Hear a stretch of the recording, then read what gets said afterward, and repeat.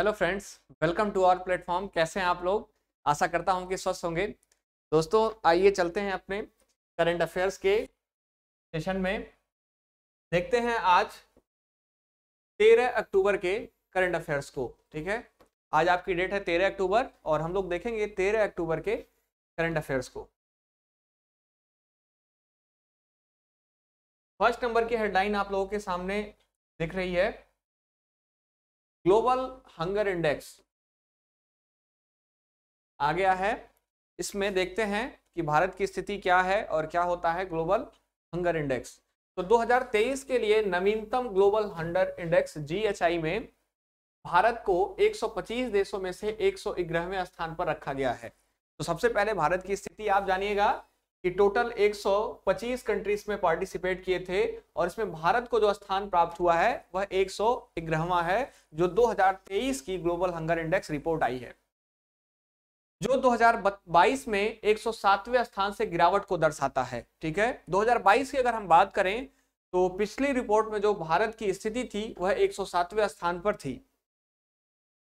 Global hunger index वैश्विक स्तर पर भूख के स्तर का एक वार्षिक मूल्यांकन है, जिसे आयरिस एनजीओ, कर्सन वर्ल्ड वाइड और German NGO Welthungerhilfe इसका नाम ध्यान रखिएगा, एग्ज़ाम में पूछा भी गया है, वेल्ट हंगर हिल्फ इसके द्वारा प्रकाशित किया जाता है।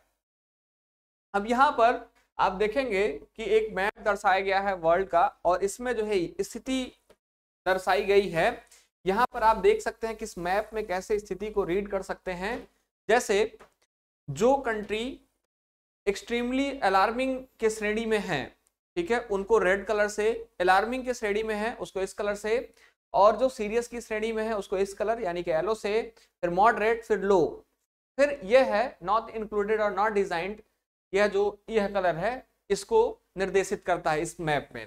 तो आप देखेंगे, जितनी भी अलार्मिंग कंट्री हैं, जितनी भी सीरियस कंट्री हैं। अगर हम भारत की बात करें, यहाँ पर आपको दिख रहा होगा तो भारत जो है सीरियस के कैटेगरी में है। इस कलर को आप देख सकते हैं और यहाँ पर समझ सकते हैं। चलिए दोस्तों, आगे बढ़ते हैं। इस रिपोर्ट के बारे में और थोड़ा सा कुछ समझते हैं। ग्लोबल हंगर इंडेक्स 2023 में शीर्ष और सबसे खराब प्रदर्शन किसने किया है, इसको भी आपको जानना आवश्यक है, क्योंकि एग्ज़ाम में पूछ लेता है कि टॉप पर कौन सा देश रहा है और कौन सा जो है सबसे खराब प्रदर्शन किया है, वह भी। तो बेलारूस, बोस्निया और हर्जेगोविना, चिली, चीन और क्रोएशिया को आप देखेंगे तो यह जी एच आई टू में सिर्फ़ पाँच देश हैं।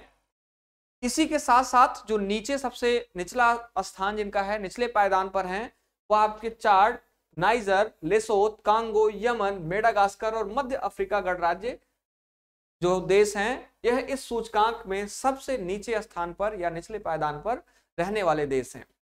दोस्तों, एक चीज़ और ध्यान रखिएगा कि इस रिपोर्ट में, इस रिपोर्ट के परिप्रेक्ष्य में कभी कभी भारत के जो पड़ोसी देश हैं, उनकी स्थिति भी आपसे पूछी जाती है।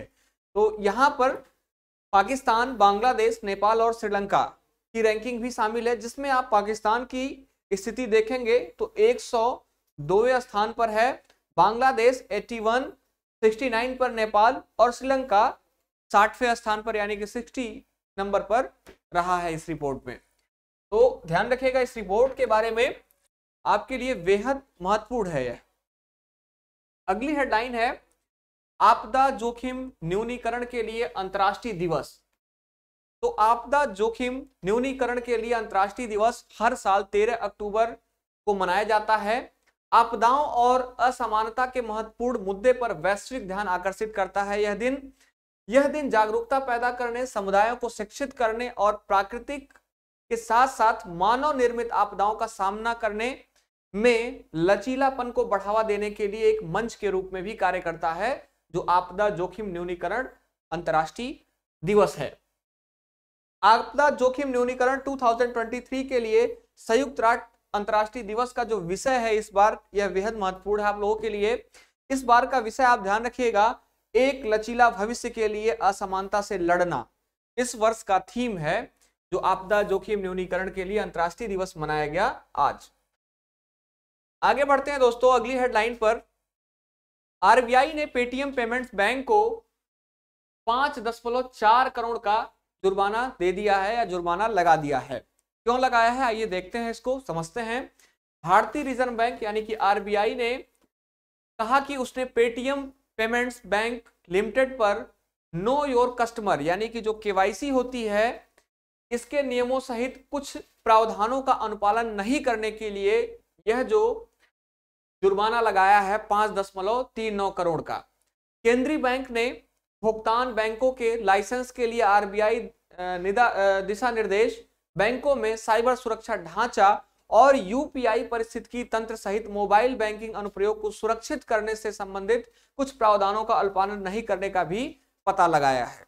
तो यह कुछ जो है रीजन रहा है। इस रीजन के कारण आरबीआई ने पेटीएम पेमेंट्स बैंक पर पाँच दशमलव चार करोड़ रुपए का जुर्माना लगाया है।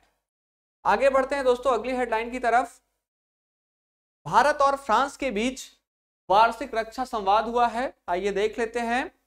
तो रक्षा मंत्री राजनाथ सिंह ने अपने दो यूरोपीय देशों के दौरे के समापन से पहले 11 अक्टूबर 2023 को पेरिस में फ्रांसीसी सशस्त्र बलों के मंत्री श्री सेबेस्टियन लेकोर्नु के साथ पांचवी वार्षिक रक्षा वार्ता का आयोजन किया और दोनों मंत्रियों ने रक्षा क्षेत्रों में औद्योगिक सहयोग बढ़ाने पर ज़ोर देने के साथ साथ क्षेत्रीय स्थितियों के आकलन से लेकर दोनों देशों के बीच चल रहे सैन्य अभ्यासों जैसे कई विषयों पर भी चर्चा किया है। फ्रांस के रक्षा मंत्री का नाम ध्यान रखिएगा। आप पूछा जा सकता है एग्ज़ाम में। यूपी ने मानसिक स्वास्थ्य और परामर्श में दूर संचार प्रौद्योगिकी का उपयोग करने हेतु पुरस्कार प्राप्त किया है। 10 अक्टूबर को उत्तर प्रदेश टेली प्रौद्योगिकी आधारित मानसिक स्वास्थ्य और परामर्श सेवा टेलीमानस के संचालन में उत्कृष्ट प्रयासों के लिए तीसरे पुरस्कार से सम्मानित किया गया। यह पुरस्कार भारत सरकार के स्वास्थ्य एवं परिवार कल्याण मंत्रालय द्वारा प्रदान किया गया और उत्तर प्रदेश के राष्ट्रीय स्वास्थ्य मिशन की मिशन निर्देशक डॉक्टर पिंकी जोवल ने इसको जो है प्राप्त किया है। तो ध्यान रखिएगा, इनका नाम भी जिनको यह सम्मान मिला है, जिनको यह जो है अवार्ड जिन्होंने प्राप्त किया है। यह पुरस्कार यह पुरस्कार मानसिक स्वास्थ्य के प्रति यूपी के समर्पण और अपने नागरिकों को प्रदान की जाने वाली अमूल्य सेवा का एक प्रमाण है। तो ध्यान रखिएगा, इसको पाने वाला जो राज्य यूपी है, विशेष रूप से। अगली हेडलाइन है दोस्तों, नितिन गडकरी ने अरुणाचल प्रदेश में 118.50 करोड़ रुपए की सात पुल परियोजनाओं को मंजूरी दे दी है।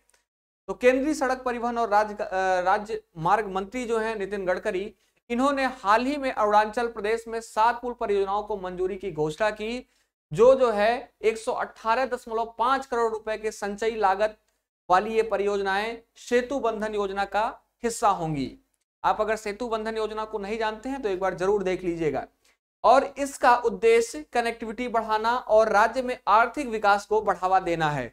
यहाँ पर मैंने मैप कर दिया है, जो पुल परियोजनाओं का अवलोकन है। लचांग में पांचा नदी पर आरसीसी पुल बनाया जाएगा। इसके अंतर्गत गुआंग में दोनी गाँव गाँव तक आरसीसी पुल N S three one three, thirty तीन सौ तेरह पर तीन पुल बनाए जाएँगे। साथ ही साथ खरसा दिरांग में आरसीसी डेकिंग के साथ double lane steel composite bridge बनाया जाएगा। पिकटे पॉइंट पर आरसीसी ब्रिज बनाया जाएगा। साथ ही साथ नगोपोक नदी पर आरसीसी पुल और सातवें नंबर पर आप देखेंगे तो पन्योर नदी पर स्टील कंपोजिट ब्रिज भी बनाया जाएगा। तो पुल परियोजनाओं का अवलोकन भी यहाँ पर दिया गया है। आप देख सकते हैं इसका स्थान कहाँ कहाँ पर है और मैप में भी आप इसको समझ सकते हैं। आइए दोस्तों, चलते हैं अगली हेडलाइन की तरफ़ अपने।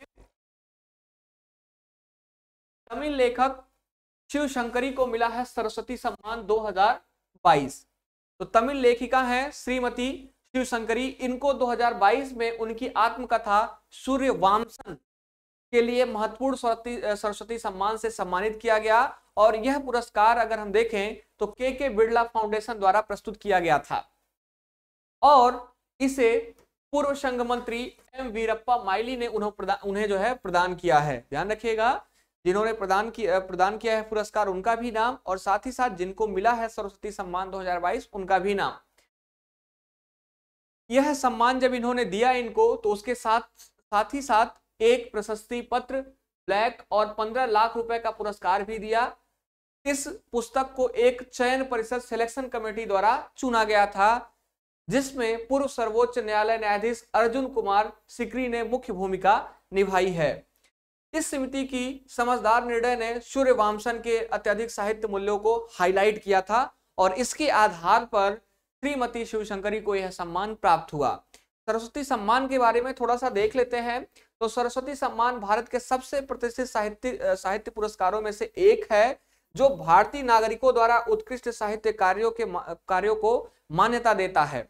मान्यता प्राप्त कृतियों को पिछले दस वर्षों के भीतर भारतीय संविधान की अनुसूची में जो है, इस अनुसूची में शामिल किसी भी भाषा में प्रकाशित किया जाना चाहिए और अब तक योग्य लेखकों को 32 सरस्वती सम्मान पुरस्कार प्रदान किया गया है।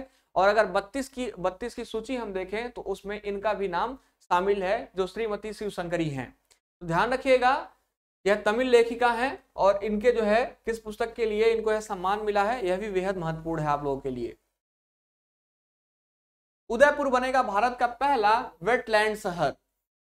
वेरी वेरी इंपॉर्टेंट न्यूज़ आप इसको मार्क कर लीजिएगा।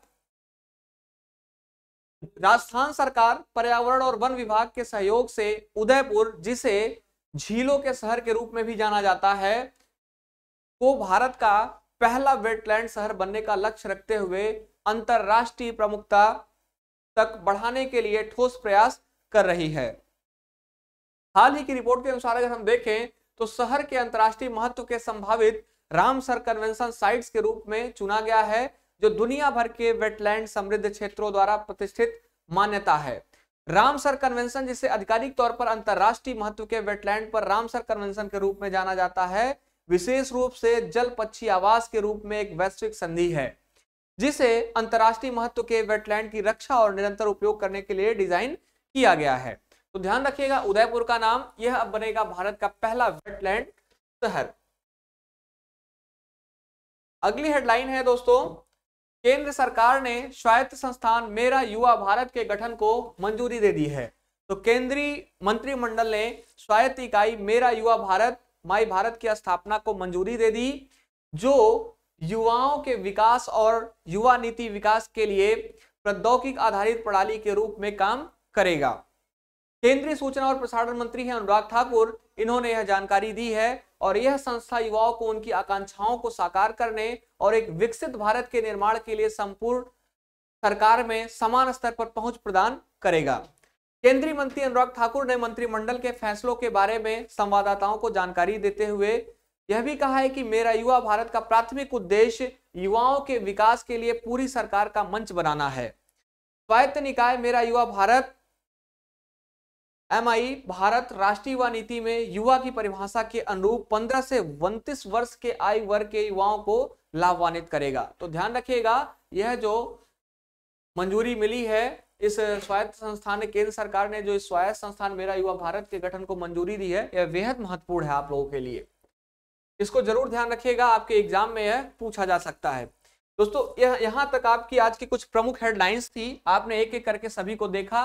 और आशा करता हूँ सभी को समझा भी होगा, जितने भी तथ्य आपको बताए गए सारे तथ्यों पर आपने बहुत अच्छे से गौर भी किया होगा। आने वाले एग्ज़ाम में अगर इससे प्रश्न बनता है तो आशा करता हूँ कि आप उसको ज़रूर सॉल्व करेंगे। साथ ही साथ दोस्तों, एक सूचना के साथ हम लोग क्लास को समाप्त करेंगे। आज आपको अगर इसका पीडीएफ अभी भी प्राप्त नहीं हो पा रहा है तो इस नंबर पर eight one three zero five zero two seven six two. इस पर आपको व्हाट्सएप मैसेज करना है और व्हाट्सएप मैसेज आप करेंगे तो आपको पीडीएफ प्रोवाइड कर दिया जाएगा। साथ ही साथ आपको एक व्हाट्सएप ग्रुप में जोड़ दिया जाएगा, जहाँ पर डेली बेसिस पर आपको करंट अफेयर्स का पीडीएफ दे दिया जाता है, जिससे आपको प्रतिदिन मांगने की आवश्यकता ना पड़े। आप अपने सुविधा अनुसार वहाँ से डाउनलोड करके पढ़ सके।